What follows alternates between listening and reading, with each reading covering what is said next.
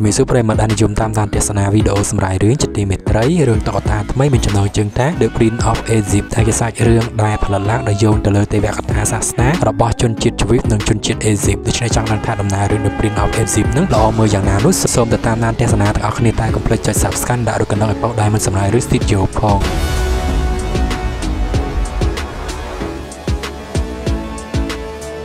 ដើមរឿងដំបូងឡើងគឺនៅក្នុងអាណាចក្ររបស់អេស៊ីបដែលពេលហ្នឹងគឺគេកំពុងតែធ្វើការកសាងមហាប្រាសាទរបស់គេជាច្រើនដែលមានជនជាតិ Hybro Hybro នេះវាគឺជាជនជ្រាបនឹងឯងតែគាត់នៅក្នុងសាច់រឿងហ្នឹងការជំនាន់ហ្នឹងគឺគេហៅថាជនជាតិ Hybro ហើយពួកគេធ្វើការជាទេសកលដើម្បីកសាងប្រាសាទទាំងអស់ហ្នឹងឲ្យទៅឲ្យជនជាតិអេស៊ីបហើយពួកគេបងប្រាថ្នាថាគេចង់បានសេរីភាពរបស់ពួកគេវិញហើយគេចង់រស់នៅស្មើមុខស្មើមាត់ដូចជាជនជាតិអេស៊ីបទាំងអស់ហ្នឹងដែរហើយដោយសារតែប្រជាផារ៉ាអុងឈ្មោះថា City ហ្នឹងគាត់ព្រួយបារម្ភថាការកកើតនៃជនជាតិ Hybro ដែលជាជនជាតិជ្រាបហ្នឹងវាកើតមកច្រើនឡើងទៅហើយការទៀមទាការបះបោររបស់ពួកគេនឹងវានឹងកើនឡើងនៅពេញនគររបស់គេគាត់ក៏ឲ្យទាហានរបស់គាត់នឹងទៅសម្រាប់ទារកដែលទើបតែកើតមកភ្លាមភ្លាមហើយរំពេចនឹងក៏ស្រាប់តែមានគ្រួសារមួយដែលគាត់មានកូនចំនួន2នាក់កូនស្រីបងហើយនិងកូនប្រុសបងហើយនិងកូនទារកមួយទៀតដែលទើបកើតចឹងទៅគាត់ក៏បាននាំកូនចៅរបស់គាត់នឹងធ្វើដំណើរទៅទន្លេនីលហើយពេលហ្នឹងគាត់ក៏បានប្រកាសទៅរកទេវតារបស់គាត់នឹងហើយដាក់កូនប្រុសរបស់គាត់នឹងចូលទៅក្នុងកន្ត្រកមួយបណ្ដែតទៅតាមទន្លេនីលនឹងទៅឲ្យនាំគេនឹងទៅកាន់ទីកន្លែងណាដែលមានសុវត្ថិភាពចឹងណាហើយពេលនេះយើងក៏ឃើញតាទារកនឹងគឺគេដែលប្រសែតាមទឹកហ្នឹងហើយហើយមានឧបសគ្គជាច្រើនមានសត្វកពើផងមានសត្វដំរីទឹកផងមានទូករបស់ទាហានផងហើយបើទោះបីជាមានទូករបស់អ្នកនេសាទហ្នឹងក៏ធ្វើឲ្យទារកហ្នឹងគេចេះតែដែលទៅមុខប្រកបដោយសុវត្ថិភាពហើយបងស្រីរបស់គេហ្នឹងចេះតែតាមមើលប្អូនរហូតដោយសារទៅវាសនារបស់ទារកហ្នឹងគឺជាទារកដ៏អស្ចារ្យគេក៏បានដណ្ដែតរសែទៅដល់កំពង់ទឹករបស់ព្រះរាជវាំងអេស៊ីបហ្នឹងទៅហើយពេលហ្នឹងព្រះរាជអគ្គមហេសីគឺគាត់កំពុងតែមុជទឹកលេងជាមួយនឹងបុត្រារបស់គាត់ឃើញកន្ត្រកទារកហ្នឹងគាត់ក៏បើកមើលទៅឃើញទារកនៅខាងក្នុងហ្នឹងក៏គាត់ស្រឡាញ់ទារកហ្នឹងហើយពេលហ្នឹងបងស្រីគេមើលឃើញសកម្មភាពទាំងអស់ហ្នឹងគាត់ក៏បានបន់ស្រន់ឲ្យបងប្រុសរបស់គាត់នឹងរស់នៅទីតាំងនឹងប្រកបដោយសុវត្ថិភាពហើយនឹងអាចវិលត្រឡប់មកជួយសង្គ្រោះពួកជនជាតិរបស់ពួកគេនឹងរួចផុតពីរបបទាសភាពទាំងអស់នឹងទៅរយៈពេលប្រហែលជា18ឆ្នាំកន្លងផុតមកនេះយើងឃើញថាទារកទាំងពីរនាក់ហ្នឹងគេក៏បានរស់នៅហើយធំធាត់ខ្លាចទៅជាយុវជនអកសង្ហារបស់ព្រះមហាក្សត្រព្រះចៅផារ៉ាអុងទី2របស់គេនឹងហើយពេលហ្នឹងអាបងគឺគេមានឈ្មោះថារ៉ាមេសហើយប្អូនដែលជាកូនរបស់ជនជាតិហៃបរូនគឺគេមានឈ្មោះថាមូស្ពេនគឺគេកំពុងតែរត់ដេញគ្នាដោយជិះរទេះយ៉ាងអង្អាចក្លាហានតែម្ដងណាហើយគេដេញគ្នាពីក្នុងព្រះរាជវាំងហ្នឹងលោទៅដល់ផ្ទះរបស់ប្រជាជនហើយបន្ទាប់ពីនោះមកក៏គេបានដេញគ្នាធ្វើដំណើរមកដល់ទីតាំងដែលជាការដ្ឋានគេកំពុងតែកសាងប្រាសាទហ្នឹងហើយគេដេញគ្នាទៅដល់លើអាការដ្ឋានហ្នឹងហើយដោយសារតែការដេញលេងគ្នារបស់ពួកគេទាំងពីរនាក់ហ្នឹងក៏បានធ្វើឲ្យការដ្ឋានគេកំពុងតែកសាងមហាប្រាសាទហ្នឹងគឺវាខូចខាតអញ្ចឹងណាហើយព្រះរាជគ្រូពេលដែលគាត់ឃើញរឿងទាំងអស់ហ្នឹងទៅគឺគាត់ខឹងនឹងព្រះរាជបុត្រទាំងពីរហ្នឹងខ្លាំងមែនទែនមកកាត់អាប្លង់ទៀតមកគេក៏បានទៅទូពិតដល់ព្រះចៅផារ៉ាអុងហើយនឹងព្រះរាជអគ្គមហេសីយូសាគេនឹងទៅពេលហ្នឹងព្រះរាជបិតាគឺបានស្ដីឲ្យរ៉ាមេសយ៉ាងច្រើនតែម្ដងឲ្យថាគេនឹងមិនធ្វើខ្លួនស័ក្តិសមជាព្រះរាជបុត្រាដែលគ្រប់គ្រងអាណាចក្រអេស៊ីបនោះទេហើយព្រោះរឿងរ៉ាវទាំងអស់ហ្នឹងគឺវាអត់សមនឹងធ្វើតែព្រះរាជបុត្រាក៏គាត់និយាយថាគាត់នឹងធ្វើឲ្យខូចការដ្ឋានកសាងប្រាសាទមួយនេះវាមានអីធំដុំទេដែលធ្វើឲ្យបិតាគឺគាត់ខឹងយ៉ាងខ្លាំងព្រោះគាត់ប្រាប់ថាគឺគាត់ខំដឹកនាំគឺគាត់ខំបង្កើតយុទ្ធសាស្ត្រដើម្បីដឹកនាំអាណាចក្រអេស៊ីបហ្នឹងក៏ដូចជាកសាងប្រាសាទយ៉ាងច្រើនពេញទឹកពេញដីប៉ុន្តែកូនប្រុសរបស់គាត់ហ្នឹងបែរជាគេគិតរឿងផ្សេងទៅវិញបានរ៉ាមេគាត់ក៏និយាយថាដោយសារតែថ្ងៃហ្នឹងគឺគេអត់មានការងារធ្វើហើយព្រះបិតាគួរតែផ្ដល់ឱកាសឲ្យគេហ្នឹងធ្វើកិច្ចការទាំងអស់ហ្នឹងទៅហើយដោយសារតែព្រះមហាសែនឃើញថាមិនចង់ឲ្យបិតាហើយនឹងប៉ុនប្រកែកគ្នាខ្លាំងពេកចឹងទៅគាត់ក៏ជួយសម្រួលស្ថានភាពឲ្យបរិយាបត្រត្រាគេហ្នឹងក៏ខឹងចេញពីក្នុងកន្លែងជំនុំនឹងបាត់ទៅចុងក្រោយទៅមូសនោះក៏គាត់បាននិយាយជាមួយនឹងព្រះបិតាព្រះមេដាចឹងណាថារឿងទាំងអស់ហ្នឹងគឺជាការនឹកឃើញគឺជាកំណត់របស់គេនេះកុំឲ្យស្ដីឲ្យបរិយាមខ្លាំងពេកបានពេលហ្នឹងបិតាក៏បានប្រាប់ទៅមូសទៅថាចាប់ឲ្យទៅមើលបងទៅព្រោះយប់ហ្នឹងគឺគេមានកម្មវិធីជប់លៀងដែលកម្មវិធីជប់លៀងហ្នឹងគឺគេនឹងប្រកាសប្រាប់ទៅមន្ត្រីធំធំហ្នឹងថារ៉ាម៉ែហ្នឹងគេនឹងខ្លាចទៅជាអនាគតអ្នកស្នងរាជសម្បត្តិហ្នឹងហើយដោយលក្ខណៈជាងធ្វើពិធីឲ្យគេហ្នឹងខ្លាចទៅជាបុត្រាដែលនឹងត្រូវក្រងរាជគ្នាពេលឆាប់ឆាប់ហ្នឹងអញ្ចឹងណាហើយពេលហ្នឹងអាប្អូនក៏ទៅនិយាយជាមួយនឹងបងតើបងក៏គេស្ដាប់ឃើញថាចោះសម្រងជាមួយគ្នាគេក៏បានសងសឹកទៅនឹងប្រជាគ្រូទាំងពីរនាក់នឹងវិញដែរហើយពេលហ្នឹងគេក៏បានទៅដល់អាកម្មវិធីជប់លៀងនឹងទៅហើយរ៉ាមែនគឺគេសប្បាយចិត្តមែនតើព្រោះពេលហ្នឹងគេខ្លាចទៅជាប្រជាបុត្រាដែលនឹងត្រូវក្រងរាជសម្បត្តិតពីបិតាគេនឹងហើយអាប្អូនឃើញអញ្ចឹងបានទៅឲ្យគ្រូទាំងពីរនាក់គេធ្វើពិធីលក្ខណៈសាសនាអញ្ចឹងណាហើយប្រជាគ្រូគេទាំងពីរនាក់ក៏បានធ្វើលក្ខណៈដូចជាយើងមេជីអញ្ចឹងហើយពេលហ្នឹងក៏លេចចេញស្ត្រីស្បែកខ្មៅកំពុងតែជិះលើអូតម៉ែហ្នឹងគាត់ក៏ប្រុងទៅញ៉ាយញងដើម្បីស្នេហាអញ្ចឹងប៉ុន្តែនាងគឺការឆ្នះតែម្ដងហើយអាបងហ្នឹងគឺសារតែឃើញឆ្នះអញ្ចឹងក៏បានអាប្អូនហ្នឹងទៅចាត់ការទៅឲ្យបានពួកគេហ្នឹងវាយគ្នាចុះឡើងចឡើងព្រោះនារីហ្នឹងគឺគាត់ព្រមទៅទីបំផុតទៅម៉ងហ្នឹងក៏បាន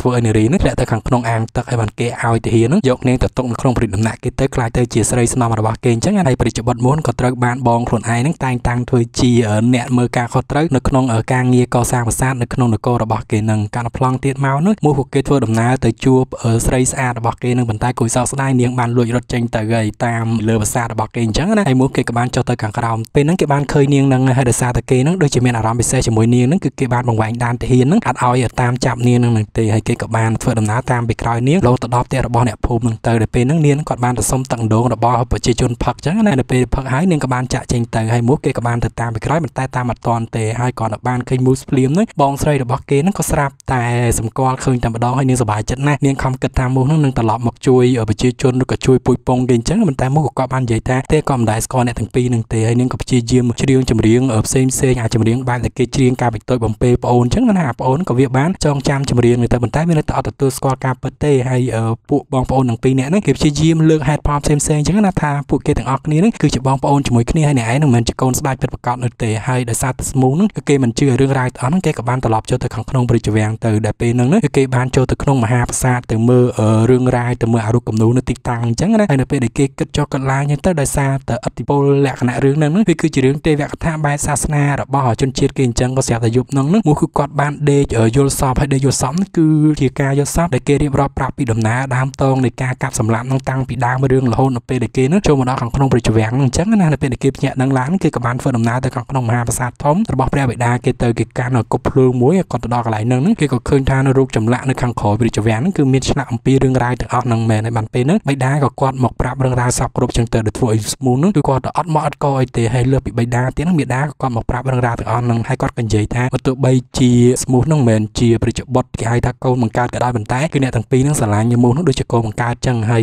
កុំព្រួយបារម្ភថាគេនឹងធ្វើបាបមូសឬក៏មិនឲ្យការងារណាធ្វើអញ្ចឹងណាតែអាមូសហ្នឹងគឺវាអត់គិតអញ្ចឹងទេវាគិតថាវាគួរតែធ្វើយ៉ាងណាហ្នឹងឲ្យចាក់ចេញពីបរិយានគរហ្នឹងហើយស្អែកឡើងគេក៏ធ្វើដំណើរទៅអាការដ្ឋានកសាងប្រាសាទរបស់បរិយាមគេនឹងឯងគេឃើញពីទុកលំបាករបស់ទេសកលទាំងអស់ហ្នឹងចៃដន្យក៏ស្រាប់តែមានទាហានមួយហ្នឹងបានវាយតាចាស់ម្នាក់នៅខាងលើខ្ពស់ណាហើយវាយទៅវាយមកហ្នឹងក៏ធ្វើឲ្យមូសគឺគេមានអារម្មណ៍ថាឈឺចាប់ណាគេក៏បានឡើងទៅខាងលើហ្នឹងធ្វើឲ្យអត្តហ៊ាននៃវាយនេះវាធ្លាក់មកខាងក្រោមចឹងទៅហើយ Rames ហ្នឹងគាត់ឃើញរឿងរ៉ាវទាំងអស់ហ្នឹងទៅគឺគាត់ឆ្ងល់ណាស់ប៉ុន្តែគឺគាត់និយាយជាមួយមូសហ្នឹងអត់ចោះសម្រងទេគាត់ក៏បានដេញតាមប្អូនប្រុសមកពីក្រៅហើយបានពេលហ្នឹងព្រមូសក៏គេបានប្រាប់រឿងរ៉ាវសពគ្រប់ទៅថាគេនឹងមិនមែនជាកូនបង្កើតនៅក្នុងនគរនោះទេហើយទីតាំងហ្នឹងមិនជាទីតាំងរបស់គេនោះទេគេគឺជាអំបូរជនជាតិហាយពេរូដែលជាជនជ្វីនឹងទេហើយទោះបីជាបងនឹងព្យាយាមខត់យ៉ាងណាក៏ដោយហ្នឹងតែមុនគឺគេអត់ស្ដាប់នៅទេគេក៏បានធ្វើដំណើរនឹងចាក់ចេញពីព្រះជវាំងហ្នឹងជារៀងរហូតហើយគេបានដោះគ្រឿងអលង្ការដល់អីចោលអស់ហើយនៅសល់តែអញ្ជៀនមួយតែប៉ុណ្ណោះហើយដោយសារតែមានព្យុះខ្សាច់ផងហ្នឹងគេក៏បានកប់នៅខាងក្នុងព្យុះខ្សាច់សំណាងល្អហ្នឹងក៏ស្រាប់តែមានអូតមួយហ្នឹងដើរមកខំសក់របស់គេហើយក៏បានពំគេហ្នឹងចូលទៅដល់ខាងក្នុង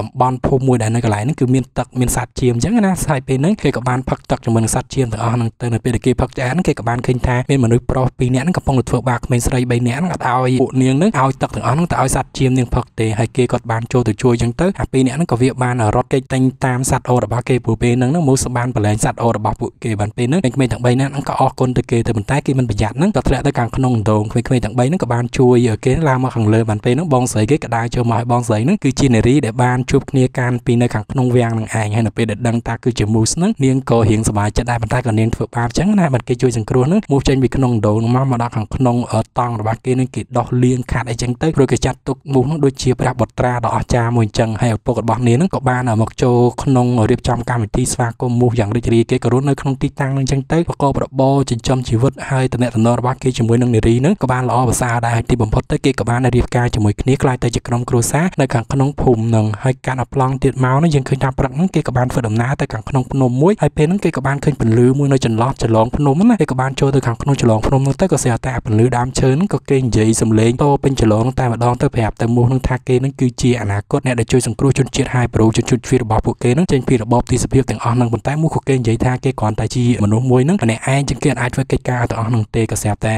ដូនតារបស់គេដែលជាព្រះហ្នឹងបាននិយាយថាកំភៃអីគេនឹងតាមឃុំក្រងមូសហ្នឹងគ្រប់ពេលវេលាឲ្យតែមូសហ្នឹងគាត់មានឆន្ទៈក្នុងការធ្វើកិច្ចការទាំងអស់ហ្នឹងណាបានពេលហ្នឹងក៏គេបញ្ចូលមហិទ្ធិឫទ្ធិរបស់គេសិលគេនៅក្នុងសាច់រឿងហ្នឹងទៅចូលទៅក្នុងដបងហ្នឹងហើយមូសក៏គាត់ធ្វើដំណើរមកដល់ខាងក្នុងភូមិវិញគាត់ក៏បានប្រាប់ទៅប្រពន្ធរបស់គាត់ប៉ុន្តែដបងប្រពន្ធអត់ឯកភាពទេហើយដោយសារតែមូសក៏គាត់បញ្ចុះបញ្ចូលគាត់ប្រាប់ថាគឺគាត់ចង់ឲ្យជនជាតិរបស់គាត់មានសេរីភាពដូចជាអំបូរជនជាតិរបស់ប្រពន្ធខ្លួនឯងនឹងចឹងហើយបានពួកគេហ្នឹងក៏ឯកភាពគ្នាហើយធ្វើដំណើរចាក់ចែងពីភូមិហ្នឹងសម្ដៅទៅនគររបស់អេស៊ីបហើយគាត់តែទៅដល់នគរអេស៊ីបភ្លាមទាំងពីរនាក់ក៏បានចូលគាត់នឹងស្ដេចរ៉ាមេសទៅហើយពេលហ្នឹងគឺគេឡើងក្រងរាជមានព្រះជាយានិងមានបុត្រហើយហើយអាបងហ្នឹងឃើញប្អូនអញ្ចឹងគឺសប្បាយចិត្តមែនទែនណាគិតថាប្អូនហ្នឹងនឹងមកជួបខ្លួនក៏ស្រាប់តែប្អូនហ្នឹងថាអត់ទេគឺគេមកហ្នឹងគឺគេមានបេសកកម្មទៀមទាទេសភាពទៀមទាសេរីភាពឲ្យជនជាតិហាយប្រូរបស់គេដែលធ្វើឲ្យបបងហ្នឹងគឺឆ្ងល់យ៉ាងខ្លាំងបានគេក៏បានប្រើវេទមន្តហ្នឹងឲ្យដំបងរបស់គេហ្នឹងខ្លាចទៅជាពស់មួយអញ្ចឹងណាប្រាប់ថាគឺទេវតាហ្នឹងឲ្យគេមកធ្វើកិច្ចការទាំងអស់ហ្នឹងហើយដោយសារតែបច្ច័យរ៉ាមែនគឺគាត់មានមហិទ្ធិឫទ្ធិគាត់មានគ្រូសិស្សរបស់គាត់អញ្ចឹងទៅពេលហ្នឹងក៏បានឲ្យគ្រូសិស្សរបស់គាត់ហ្នឹងធ្វើសកម្មភាពផ្សេងៗបញ្ជាក់ប្រាប់ទៅ smooth ថាគេគ្មានសមត្ថភាពក្នុងការធ្វើកិច្ចការទាំងអស់ហ្នឹងទេហើយកុំគិតថាខ្លួនឯងហ្នឹងអាចទាមទារសេរីភាពឲ្យជនជាតិ High Pro ទាំងអស់ហ្នឹងហើយនៅពេលដែលគេចាប់អសូរហ្នឹងទៅក៏ឃើញថាខ្លួនឯងពិតជាអត់អាចធ្វើកិច្ចការទាំងអស់ហ្នឹងបានមែនហើយបងដោយសារតែចិត្តមិនដាច់ពីប្អូនហ្នឹងក៏បានហៅប្អូនទៅនិយាយគ្នាស្ងាត់ស្ងាត់តែម្ដងណាថាកុំឲ្យប្អូនហ្នឹងគិតពីរឿងទាមទារទាសភាពសេរីភាពអីឲ្យជនជាតិ High Pro ហ្នឹងអីចូលមករស់នៅក្នុងប្រជាវាំងហ្នឹងមកគឺគេព្រមលើកលែងទៅឲ្យគឺគេទទួលចំណេញណាប៉ុន្តែអាប្អូនក៏វានិយាយថាចិត្តបេះដូងហ្នឹងគឺគេទាំងពីរនាក់ហ្នឹងពិតជាស្រឡាញ់គ្នាមែនប៉ុន្តែគឺគេមិនអាចទុកឲ្យជនជាតិរបស់គេធ្វើជាទេសកលជារៀងរហូតទេគេក៏បានដោះជាហ្នឹងឲ្យតបងហើយបងឃើញអញ្ចឹងក៏លេងមាត់លេងកហើយក៏ថាអូខេអត់អីអញ្ចឹងអ្នកឯងបន្តបេសកកម្មរបស់អ្នកឯងអញ្ចឹងទៅគេក៏បានដើរចេញពីខាងក្នុងហ្នឹងហើយបែកគ្នាចាប់ពីពេលនោះមកមួយក៏គាត់បានធ្វើដំណើរត្រឡប់មកវិញទៅព្រោះពេលហ្នឹងរ៉ាមែនគឺគាត់បានប្រាប់ថាគឺគាត់នឹងបន្ថែមទម្ងន់ទៅឲ្យជនជាតិហៃប្រូទាំងអស់ហ្នឹងធ្វើការទ្វេដងអញ្ចឹងណាព្រោះជនជាតិហៃប្រូទាំងអស់ហ្នឹងគឺគេខឹងស្អប់អាមូសហ្នឹងយ៉ាងខ្លាំងតែម្ដងគេថាដោយសារតែរិទ្ធបុត្រមូសហ្នឹងហើយដែលធ្វើឲ្យគេហ្នឹងធ្វើការកាន់តែច្រើនជាងមុនហើយពេលហ្នឹងប្រពន្ធរបស់គេក៏ចេញមកលើកទឹកចិត្តហើយបងស្រីរបស់គេហ្នឹងក៏ចេញមកលើកទឹកចិត្តប្រាប់តអ្នកទាំងអស់គ្នាថាកុំឲ្យបន្ទោសមូសហ្នឹងខ្លាំងពេកអញ្ចឹងណាហើយពេលហ្នឹងក៏ស្រាប់តែទូករបស់ស្ដេចរ៉ាមែនហ្នឹងធ្វើដំណើរនៅលើទន្លេនីលហើយមូសឃើញអញ្ចឹងគេក៏តាំងចិត្តតាំងស្មារតីតែម្ដងទៅថាបើសិនជាគេធ្វើតែឯងហ្នឹងវាអត់បានទេលុះត្រាតែអ្នកទាំងអស់គ្នាហ្នឹងឲ្យជួយគ្រប់គ្រងគេអញ្ចឹងណាហើយនៅពេលដែលឃើញទូករបស់ស្ដេចរ៉ាមែនអញ្ចឹងគេក៏បានដើរទៅស្រែកពីចម្ងាយទៅលក្ខណៈដូចជាព្រះយេស៊ូវគ្រីស្ទអញ្ចឹងឡើយហ្នឹងគេប្រាប់ឲ្យរ៉ាមែនថាដោះលែងពួកជនជាតិហៃប្រូទាំងអស់ទៅប៉ុន្តែរ៉ាមែនក៏គាត់ខឹងណាគាត់ក៏បានប្រើធានចុះទៅចាមកពេលហ្នឹងមកក៏គាត់បានប្រើវេទមន្តតពីទេវតារបស់គាត់ធ្វើទឹកទន្លេនីលហ្នឹងខ្លាចទៅជាទន្លេឈាមតែម្ដងហើយរ៉ាមែនគឺគាត់រៀងភ័យតិចដែរប៉ុន្តែក៏បានឲ្យព្រះគ្រូរបស់គាត់ហ្នឹងមើលមើលថាតើវាមានរឿងរ៉ាវកើតឡើងអញ្ចឹងណាហើយព្រះគ្រូហ្នឹងក៏គាត់បានយកដងទឹកមកផ្ទាល់មកហើយគាត់ដាក់ម្សៅក្រហមចូលទៅខាងក្នុងហ្នឹងហើយគាត់បន្លំប្រាប់ទៅរ៉ាមែនថាវាគ្មានរឿងរ៉ាវអ្វីកើតឡើងនោះទេហើយបានពួកគេនេះចាក់ចេញពីទីតាំងហ្នឹងទៅបន្ទាប់ពីនោះមកនោះមកជាមួយនឹងប្រជាជនរបស់គេហ្នឹងក៏បានធ្វើពិធីបួងសួងទៅដែលចាប់តាំងពីពេលនោះមកនេះយើងឃើញថាស្ថានភាពរស់នៅនៅក្នុងនគរអេស៊ីបហ្នឹងបានជួបប្រទះនឹងរឿងរ៉ាវជាច្រើនដូចជាមានសត្វចម្លែកកើតគ្រោះទូរភឹកហើយធ្វើឲ្យមានជំងឺឆ្លងពីពេញព្រីនគរតែម្ដងហើយចាប់ពីពេលហ្នឹងមកហ្នឹងរ៉ាមេសគឺគាត់លំបាកក្នុងការគ្រប់គ្រងប្រទេសយ៉ាងខ្លាំងណាសមីតការកសាងប្រាសាទហ្នឹងក៏ត្រូវបានរអាក់រអួលដែរដោយសារតែមើលឃើញពីការលំបាករបស់បងអញ្ចឹងហើយម៉ូសហ្នឹងគឺគាត់ចិត្តមិនដាច់ហើយគាត់ចង់ទៅចរចាជាមួយនឹងរ៉ាមេសហ្នឹងគាត់ក៏បានទៅជួបរ៉ាមេសនៅក្នុងប្រាសាទហើយនិយាយចរចាគ្នាម្ដងពេលហ្នឹងរ៉ាមេសគាត់ព្រមព្រៀងនឹងព្រមឲ្យជនជាតិហៃប្រូទាំងអស់ហ្នឹងមានសេរីភាពឡើងវិញហើយប៉ុន្តែក៏ស្រាប់តែលេចចេញបរិជ្ជបុត្រគាត់ហ្នឹងមកទីតាំងតែម្ដងទៅគេសួររកព្រះបិតាគេអញ្ចឹងណាហើយក៏សួរទៅតើម្នាក់ហ្នឹងគឺជានរណាគេហើយដោយសារតែព្រះបិតាហ្នឹងដូចជាមានអារម្មណ៍ថាខ្លាចអាម៉ាស់មុខជាមួយនឹងបរិជ្ជបុត្រខ្លួនឯងអញ្ចឹងគាត់ក៏ប្រាប់ថាចាប់ពីពេលហ្នឹងទៅគឺគាត់នឹងប្រកាសសង្គ្រាមជាមួយនឹងជនជាតិហៃប្រូហ្នឹងតែម្ដងណាហើយគាត់ក៏បានសម្លឹងទៅអាចម្លាក់ដែលជាប់នៅជញ្ជាំងហ្នឹងហើយគាត់គិតថាគាត់នឹងបំពេញបេសកកម្មរបស់ព្រះបិតារបស់គាត់ហ្នឹងឲ្យវាបានខ្លាចទៅជាការពិតហើយបានពេលហ្នឹងមូក៏គាត់បានធ្វើដំណើរមកភូមិរបស់ជនជាតិហៃប្រូរបស់គាត់គាត់ក៏បានប្រាប់ទៅជនជាតិគាត់ទាំងអស់ថាសូមឲ្យពួកគេហ្នឹងយកទឹកក្រហមលាបនៅទ្វារចូលផ្ទះរបស់គេទៅដើម្បីកុំឲ្យបិសាចឬក៏ពួកគេហៅថាធម្មពលពិសេសទាំងអស់ហ្នឹងមកយកជីវិតក្មេងៗទាំងអស់ហ្នឹងបានណាហើយយប់ឡើងហ្នឹងឃើញថាមេឃខ្មៅដេកដាស់តែម្ដងទៅហើយអាធម្មពលបិសាចអាព្រះអាទិទេពរបស់គេហ្នឹងក៏ចាប់ផ្ដើមចូលទៅតាមផ្ទះណាដែលអត់មានបានលាបថ្នាំក្រហមហ្នឹងនៅនឹងមាត់ទ្វារនឹងមាត់បង្អួចរបស់គេទេហើយនៅពេលដែលគេឃើញក្មេងហ្នឹងក៏គេបានសម្លាប់ក្មេងៗទាំងអស់ហ្នឹងទៅយើងឃើញថាជនជាតិហៃប្រូហ្នឹងគេបានធ្វើសកម្មភាពទាំងអស់ហ្នឹងគ្រប់គ្រប់គ្នាលើកលែងតែជនជាតិអេស៊ីប៉ុណ្ណោះដែលគេហ្នឹងអត់បានយកថ្នាំក្រហមទៅលាបលើថ្មាត់ទ្វារបង្អួចហើយនឹងមាត់ទ្វារផ្ទះរបស់គេទេអញ្ចឹងពួកក្មេងៗរបស់ជនជាតិអេស៊ីបហ្នឹងគឺត្រូវបានអាធម្មពលបិសាចហ្នឹងគឺសម្លាប់ចោលទាំងអស់សំបីតែប្រជាបុត្ររបស់ព្រះចៅរ៉ាមេសទី2ហ្នឹងក៏ត្រូវបានធម្មពលពិសេសហ្នឹងសម្លាប់ដែរស្មូសក៏គាត់ចូលទៅចរចាជាមួយនឹងរ៉ាមេសម្ដងទៀតទៅដែលពេលហ្នឹងរ៉ាមេគឺគាត់បាន3បុត្រកតហ្នឹងយកទៅទីតាំងបញ្ចុះសពអញ្ចឹងណាហើយដោយសារតែការស្លាប់របស់កូនហ្នឹងគាត់ធ្វើឲ្យគាត់ហ្នឹងមានកំហឹងកាន់តែខ្លាំងគាត់ក៏បានបណ្ដេញមូសហ្នឹងចេញពីទីតាំងហ្នឹងទៅហើយប្រាប់ថាជប់ចរចាតែម្ដងមូសក៏គាត់ធ្វើដំណើរមកភូមិរបស់គាត់ម្ដងទៀតហើយពេលហ្នឹងគាត់ក៏សម្លឹងមើលប្រជាជនរបស់គេទៅឃើញថាស្ថានភាពហ្នឹងគឺវាកាន់តែលំបាកទៅលំបាកទៅលក្ខណៈដូចជាគ្រោះទូរភ័ក្រអញ្ចឹងណាព្រោះនគរអេស៊ីបហ្នឹងក៏កាន់តែលំបាកហើយជនជាតិហៃប្រឿនក៏កាន់តែលំបាកបានពេលហ្នឹងទាំងប្រពន្ធទាំងប្អូនស្រីទាំងបងរបស់គេហ្នឹងក៏បាននិយាយលើកទឹកចិត្តគេទៅថាពួកយើងទាំងអស់គ្នាហ្នឹងពិតជាអាចរកពន្លឺផ្លូវនៃការរស់នៅមួយទាំងអស់គ្នាអញ្ចឹងណាគេក៏ជាងបទ When You Believe ហ្នឹងទៅនរណាគេដែលជា fan បទហ្នឹងខ្លះបទហ្នឹងច្រៀងដោយ Mariah Carey ហើយនិង Whitney Houston ហើយនៅពេលដែលពួកគេច្រៀងចម្រៀងហ្នឹងចម្រៀងហ្នឹងវារៀបរាប់អំពីគេហៅថាការជឿជាក់នៅខ្លួនឯងការមានសង្ឃឹមសម្រាប់ខ្លួនឯងអញ្ចឹងឲ្យតែយើងជឿជាក់ថារឿងទាំងអស់ហ្នឹងយើងអាចធ្វើបានគឺយើងខំប្រឹងប្រែងធ្វើជំនះវាទៅវាប្រកាសជាអាចធ្វើបានហើយមួយក៏គាត់បានដឹកនាំជនជាតិហៃប្រូហ្នឹងចាក់ចេញពីទីតាំងភូមិនឹងលែងនៅជាទេសកលរបស់ជនជាតិអេស៊ីបនឹងជាបន្តទៀតហើយគេធ្វើដំណើរបដានឹងជារឿងបណ្ដាពីទីតាំងមួយពីទីតាំងមួយពីទីតាំងមួយនឹងចឹងទៅហើយឃើញថាពីវគ្គទៅវគ្គហ្នឹងពួកគេចាប់ផ្ដើមមានភាពរីករាយជាមួយគ្នារហូតដល់ទីបំផុតគេក៏បានធ្វើដំណើរទៅដល់ទន្លេហើយយើងនឹងស្រាប់ហើយមនុស្សហើយនឹងទន្លេហ្នឹងគឺជាទីតាំងល្អមួយសម្រាប់ការរស់នៅពួកគេសប្បាយចិត្តខ្លាំងមែនទែនប៉ុន្តែពួកគេរីករាយបានតែមួយផ្លែតហ្នឹងក៏ស្រាប់តែលិចហើយព្រះចៅផារ៉ាអុងរ៉ាមេសទី2ហ្នឹងគេនាំកងទាហានគេយ៉ាងច្រើនហ្នឹងសម្រុកទៅកាប់សម្លាប់ជនជាតិហៃប៉េរូទាំងអស់ហ្នឹងមកឃើញចឹងគាត់ក៏បានលើកឈើច្រត់របស់គាត់ហ្នឹងហើយដើរចុះទៅខាងក្នុងទន្លេហើយពេលហ្នឹងធម្មពលដូនតានិងព្រះដែលតាមថែរក្សាពួកគេហ្នឹងក៏បានបង្ហាញរត់តែម្ដងណាក៏ស្រាប់តែឃើញមានព្រះអគីពុះជ្រែកមកពីកណ្ដាលទន្លេហ្នឹងហើយក៏បានដេញទៅរៀបរៀងអត់ឲ្យព្រះចៅរ៉ាមេសទី2ហ្នឹងអាចមកសម្លាប់ជនជាតិហៃប្រូហ្នឹងបានទេហើយមូសហ្នឹងអត់អាចឲ្យព្រះចៅរ៉ាមេសទី2ហ្នឹងមកកាប់សម្លាប់ជនជាតិហៃប្រូហ្នឹងបានទេហើយមូសក៏គាត់ចូលទៅខាងក្នុងទន្លេហើយដាក់ឈើច្រត់របស់គាត់ទៅខាងក្នុងទន្លេហ្នឹងទៅពេលនោះរឿងអភិនិហាបានកើតឡើងតែម្ដងនិយាយទៅដំបូងរឿងហ្នឹងអត់មានគិតថាប្រហែលជាមិនសូវគេហៅថា attractive ខ្លាំងទេប៉ុន្តែពេលដែលយើងមើលមកដល់មកពីមួយវគ្គទៅមួយវគ្គហ្នឹងឃើញថាសាច់រឿងវាហ្នឹងល្អមើលខ្លាំងមែនទែនហើយមានគិតថាបើសិនជារឿងហ្នឹងយកទៅធ្វើជារឿងមនុស្សនឹងល្អមើលយ៉ាងណាទេជាពិសេសនៅពេលដែលអាឈុតស្រាប់តែទឹកទន្លេហ្នឹងវាចាប់ផ្ដើម